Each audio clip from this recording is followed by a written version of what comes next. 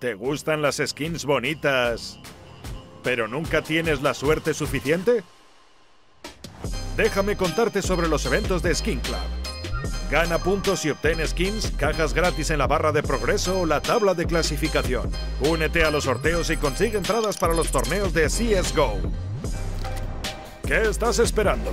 Usa el enlace en la descripción y lleva tu inventario al siguiente nivel. Muy buenas a todos amigos, soy Black, ¿qué tal estáis? Y bienvenidos una vez más al canal En el vídeo del día de hoy vamos a analizar el supuesto gameplay que se ha filtrado de Source 2 Así que espero que disfrutéis muchísimo del vídeo Y vamos a ver ese gameplay ¡Let's go! Y vamos al lío, chicos y chicas. 120.000 visitas en dos días ha tenido este gameplay que se titula, atención, eh, primer gameplay reveal de CSGO con el nuevo motor gráfico. He estado viendo el vídeo, chicos y chicas, que este Gay Follower, de hecho es una persona que he mencionado varias veces en el canal, es una persona que es bastante relevante en la escena y básicamente lo que ha hecho, ¿vale? Es un una recreación de CSGO utilizando el motor de Source 2, pero en Sandbox, ¿vale? O sea, esto no utiliza nada del código del Counter-Strike original. Lo que han intentado hacer, ¿vale? Es un acercamiento de cómo se vería, chicos y chicas, eh, Source 2 cuando se actualice el nuevo motor gráfico. De hecho, eh, aquí no lo comenta en su vídeo, que por supuesto os lo voy a dejar en la descripción.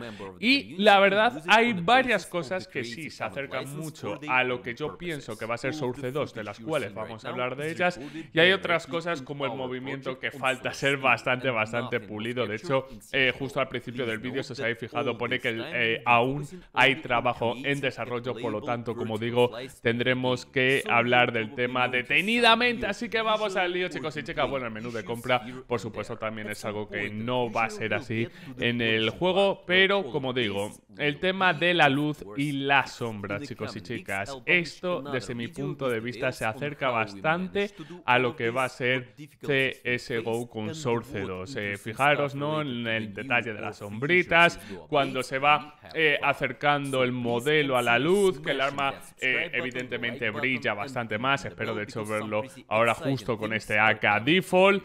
Y este tema, eh, como digo, va a ser así en el Source 2, va a ser tan realista. También cosas realistas que vemos, pues fijaros en el humo, ¿no? Que sale eh, cuando gastamos balas, por ejemplo, en el suelo. Si os fijáis ahora detenidamente en el suelo, este tipo de cosas, como digo, van a llegar al juego. De hecho, el movimiento de los eh, modelos va a ser muchísimo, muchísimo más realista que antes. Así que, por lo tanto, como digo, no, no de lo que estáis viendo porque es como que se deslizan raro, ¿no? En este caso, el movimiento no es nada acertado desde mi punto de vista. Pero como digo, me parece que es una recreación bastante, bastante bien hecha para verla, eh, como digo, hecho de cero. Simplemente lo que han hecho es eh, importar el motor gráfico y a partir de ahí han ido recreando lo que sería CSGO en Sandbox. Eh, ¿Qué cosa más que comentaros, chicos y chicas? Bueno, si habéis visto el vídeo de, de, esta tarde detenidamente, hay mucha gente que comenta que eh, va a salir CSGO dentro de, en este caso, 7 días, el día 21. Personalmente no es el día favorito de Counter-Strike para hacer actualizaciones, como sabéis son martes, miércoles y jueves, pero en este caso la actualización tendría que coincidir con el décimo aniversario y podría ser el 21 cuando recibamos Source 2. De ser así, ¿qué es lo que creo que va a pasar? Igual que con Panorama, tendremos que poner un comando en opciones de lanzamiento y a partir de ahí podremos testear lo que sería Source 2 en el juego. A lo mejor, de hecho, se desactivarían incluso las colas competitivas, simplemente podríamos jugar Deathmatch, esto como digo, son simplemente conjeturas que tengo yo, no hay nada confirmado. Pero como digo, de salir el día 21 de agosto, que es cuando cumple el décimo aniversario, cuando va a salir esa cápsula que tantos estamos esperando, ¿no? Eh, debería pasar eso. De cara a la gente que dice que no va a salir el 21 de agosto y que se retrasará hasta después del Major y que será como una gran operación. Me encaja también bastante bien porque, por ejemplo, la gran actualización que sufrió CSGO cuando metieron el modo Danger Zone, ¿no? Ese modo de Battle Royale. Eh, pues desde mi punto de vista también podría ser así. De hecho, eh, bueno, Game Follower, que es la persona que ha recreado esto, ha remarcado que va a ser muy, muy tocho la actualización de Source 2, como dice él.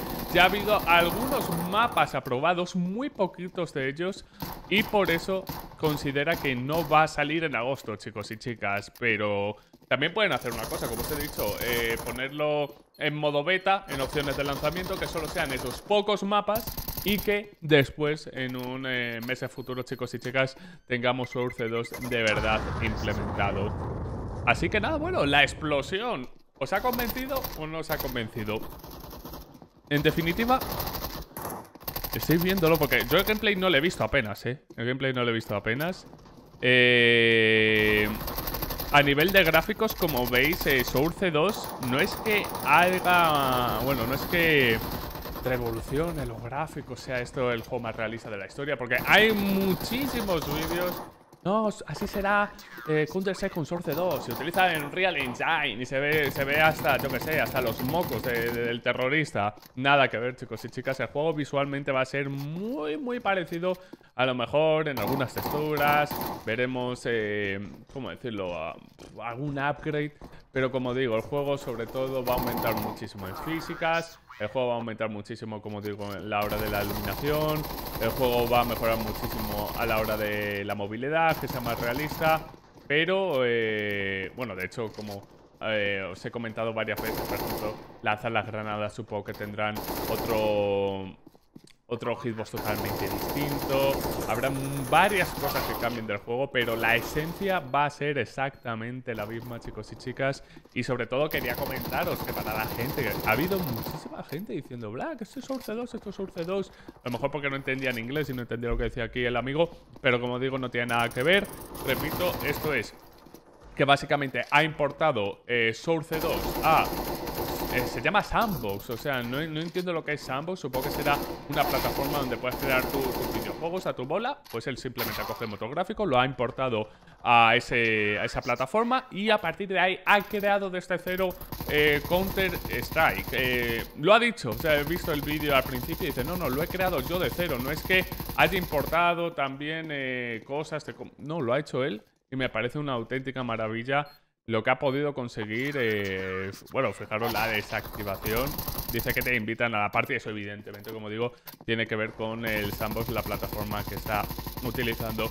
Así que nada, chicos y chicas, eh, yo creo que bastante buen vídeo para situarnos de cómo sería CSGO en Consorcio 2. Ya estaría por hoy. Espero de corazón que os haya gustado el vídeo. Espero que hayáis disfrutado.